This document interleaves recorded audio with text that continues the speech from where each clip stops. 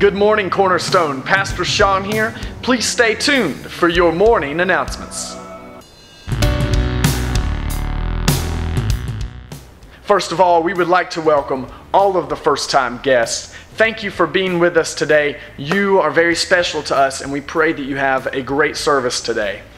Second of all, all seniors are invited to attend the next Sam's Club meeting this Friday, December 2nd at 6:30 p.m. in the conference room. Pastor Tommy Coleman will be speaking. The entree and drinks will be provided. Please bring a covered dish. Also, bring a wrapped unwanted gift for the gift exchange. It's going to be great. Hey, and we're doing a coat drive for Israel and the people of Israel. So bring in your new or gently used and freshly cleaned coats to benefit the men, women, and children of Israel. Please place them in the designated box in the foyer. All donations are due by next Sunday, December 4th. All ladies are invited to meet on Thursday, December 8th at 6:30 p.m. at the Ryans in Gainesville for the women's ministries meeting. Pastor Tommy Coleman will be speaking.